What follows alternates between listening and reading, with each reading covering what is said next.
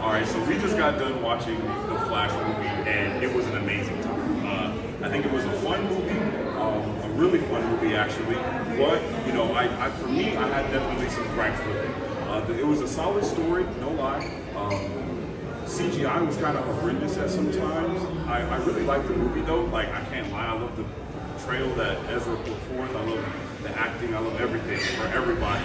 Uh, it does. There's there's definitely some gripes for me personally, but I think overall it was a really fun movie. It was a good vibe. It was definitely like a full blown comic book feel to it all the way. Uh, and I love that. Uh, comic movies have been feeling a lot more comic booky lately, and I'll say that this movie felt like the most comic book movie that I think I've seen in a long time. Uh, I always talk about the difference between superhero movies and comic book movies, and this is definitely comic book movie.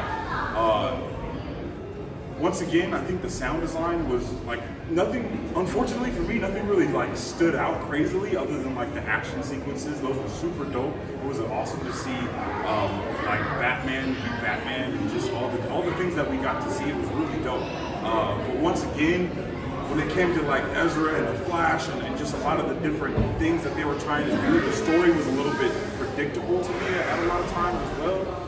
But it was still fun to go along for the ride. You know what I'm saying? So overall, I really did enjoy the movie, but I think it kind of fell a little bit short. I mean, we've, we've been waiting for like 10 years for this movie. So it's a lot of hype, it's a lot of everything for the movie, you know what I mean? So it's going to be really interesting to see what goes on and what they're going to do with the new DCU and if that's actually going to connect to anything that happens in this movie at all. Because I feel like they do leave it open, but I don't think they're giving any concrete anything. Uh, I'm, I'm hyped for the movie. Everybody definitely go out and formulate your own opinion. Don't just take mine for the word. You know, make your own opinion. See the movie. Let me know how you guys feel about it. Uh, and yeah, that's it. That's it. We'll go in deeper on the spoiler uh, on the spoiler talk.